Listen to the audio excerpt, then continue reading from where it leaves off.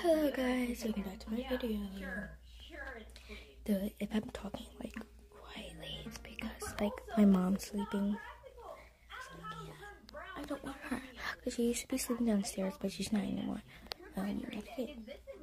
I'm just gonna be sleeping upstairs anyways. But anyways, so basically, like I'm going to be like cleaning my room in like one video and like telling you about because I'm going to a Barbie movie tomorrow with my cousins.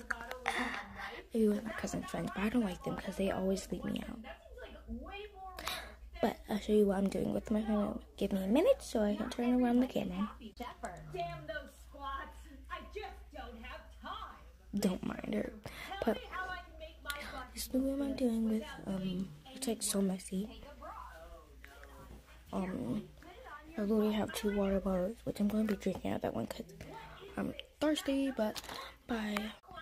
I just want you to know that. So bye.